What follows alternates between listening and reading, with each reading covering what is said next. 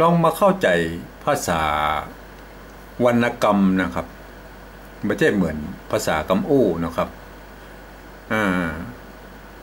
ภาษาละนาเนี่ยมันมันภาษากำอู้กับภาษาวรรณกรรมมันคนคนละแบบกันเนาะครับ อย่างอย่างสมมติว่าก่อเนี่ยมันก่อดีก่อชั่วก่ออย่างเนี้ยในภาษาวรรณกรรมเปิ้นเขียนเป็นตุกกะนะครับ เอาตุกกะมาเขียนนะครับ เป็นก้อนะครับก้อนะครับเนี่ยเป็นก้อข้อเนี่ยข้อหรือก้อนะครับ เพราะนั้นมามันเฮาจะต้องใช้ตามเปิ้นนะครับ มันไม่ใช่มาก่อนะครับเฮาจะมาเขียนก่อให้มันเป็นก่อสร้างก่ออย่างพูดมันบ่ใช่นะครับ ภาษาวรรณกรรม ต้องเขียนอย่างอี้นะครับก่อนะครับ อ่าก่อคือก่อนะครับอ่า กู้วันนะกู้วันกู้มือกู้ภาษา อ่านในข้าวหงหินแล้วนะครับ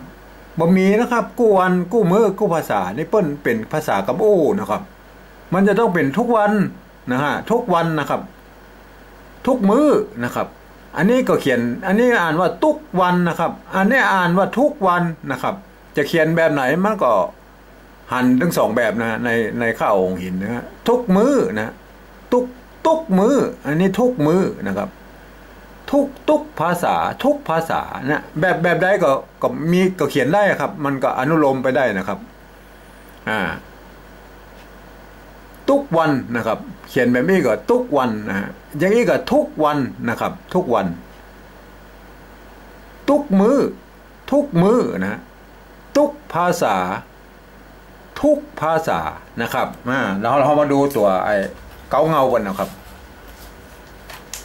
อ่าตัวอย่างนะครับ อันนี้ตัวอย่างเกาเงาบน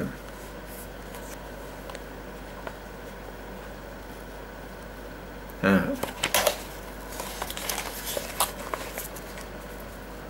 ลวด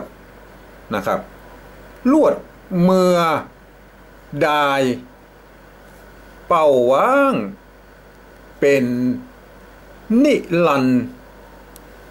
ทุกวันบ่อยั้งเสียง โหก้อง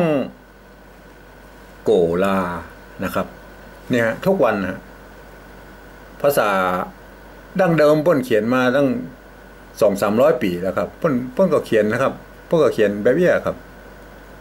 เพิ่นไม่ใช่กู้วันนะเป็นนิรันกู้วันนี่มันมีฮะเพิ่นบ่เขียนนะครับเพิ่นเพิ่น เขียนเป็นทุกวันนะครับบ่ย่างนะทุกวันนะครับ ไม่ใช่กู้นะกู้นะครับอ่าโปรดเข้าใจไว้เลยนะครับ